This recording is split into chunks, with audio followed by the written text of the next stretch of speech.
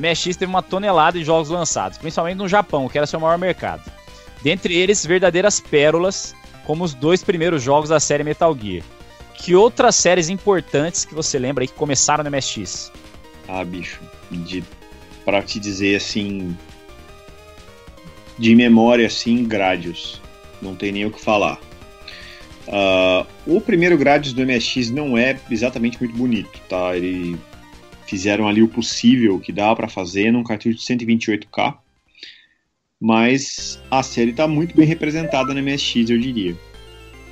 O Salamander do MSX é meio esquisitinho, tá? Ele não é exatamente. Ele não é o, o, o, o Salamander exatamente do arcade, porque eles fizeram uma adaptação e uma porção de coisas é, mudaram algumas coisas que, no, que em relação à versão de arcade, a versão do NES, por exemplo, é, é, é um pouco mais fluida, assim, né? É um pouco mais. É, como é que eu vou dizer? Eles fizeram com o Salamander de MSX o que fizeram com o Double Dragon 2 do NES. Entendeu? Ele se tornou um jogo diferente, não é um jogo ruim, mas ele é um jogo que não é exatamente o que você está habituado a ver. Pô, eu prefiro o Double Dragon 2 do NES do que do arcade. Não, com certeza. Eu acho que eu, você e todo mundo, né? Mas o. É, não, é, com certeza. Mas foi uma. uma...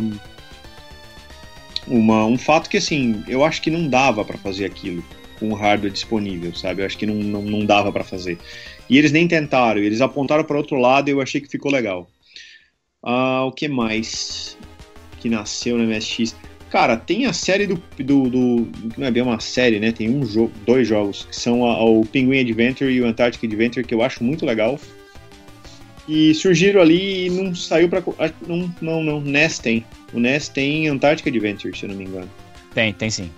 Uh, a Leste. A Leste, cara, puta. A Leste Zanak, é, que nasceu no MSX e foi, assim, puta no sucesso.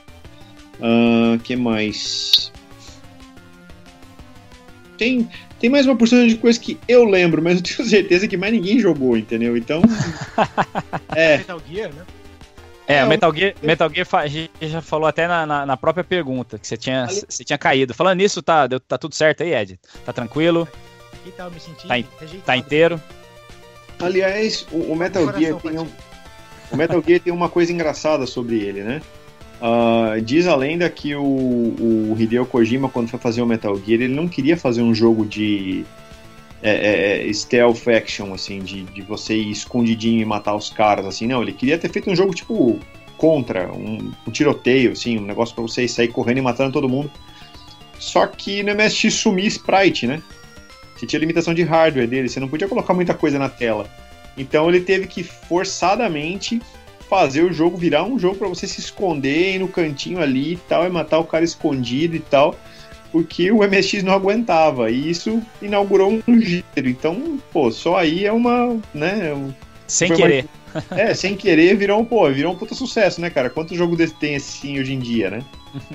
Então, pô, o próprio Assassin's Creed e os jogos atuais pegam dessa, dessa dessa fórmula que foi um incidental, assim, foi totalmente uh, ocasional.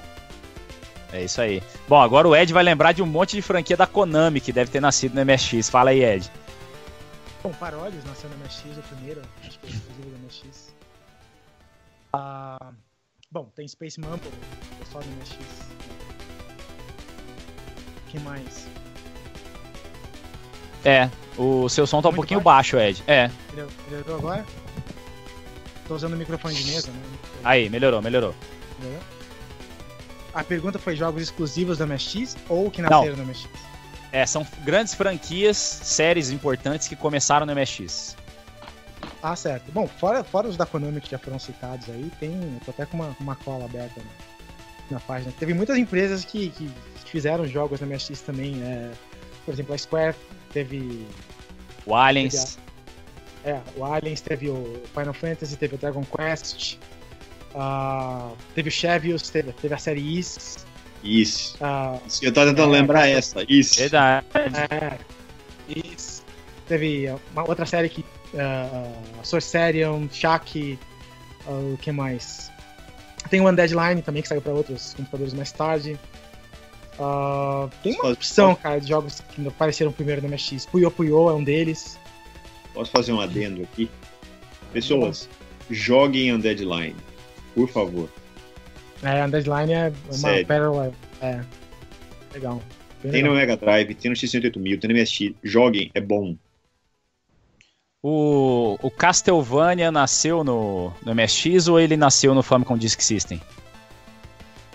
Olha, eu tenho quase certeza que eles saíram no mesmo ano. Eu não sei qual que saiu primeiro. É, é, eu, eu vi aqui. Os dois nasceram em 86, mas é, o do Famicom Disk System veio em setembro. Mas o do eu tenho, MSX eu, eu não consegui a data.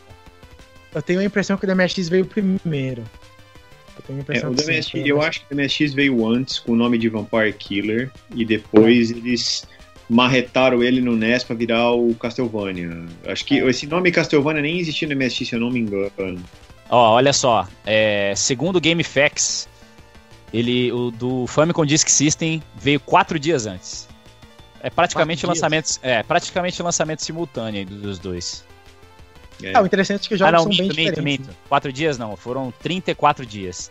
O do MSX veio no dia 30 de outubro e o do NES no dia 26 de setembro. É, os jogos são bem dias. diferentes, né? O do MSX tem, tem uma pegada um pouco, um pouco mais com uma coisa de, de RPG, assim, de mapa, né? De pegar itens e tal. A versão do Nintendo é mais um arcade direto, assim, não tem muito... Cara, eu não acho não, eu acho que é a mesma coisa. Até, até pelo sistema de jogo, né? O, o do NES usa scroll, né? O do MSX usa sala por sala, né? É, é não, é, mas... Acho, acho, acho, que a diferença é bem considerável. É bem versão mesmo, né? São versões é. distintas, apesar de terem sido os dois programados pela Konami. Dado, principalmente por causa do hardware, né? Esse lance do scroll aí é. Tinha um problema. Eu lembro que o ColecoVision tinha problema. O MSX não tem problema em scroll, né?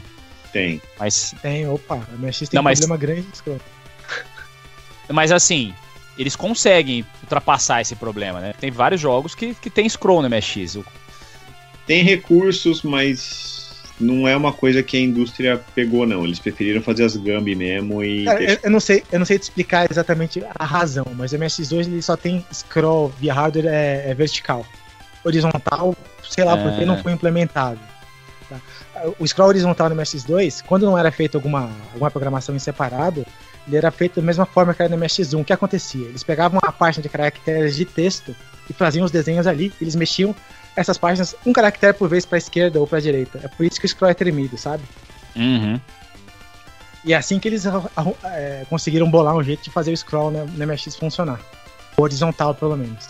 Bom, então com certeza foi para burlar essa Burlar não, para não ter que se meter nesse problema do scroll, que eles fizeram essa versão diferenciada aí pro MSX do Castlevania. É, né? Até não, o controle do MSX é tela por tela. De repente, se tivessem é. feito para dois mais, em vez de para MSX2, mas não fizeram, então ficou assim.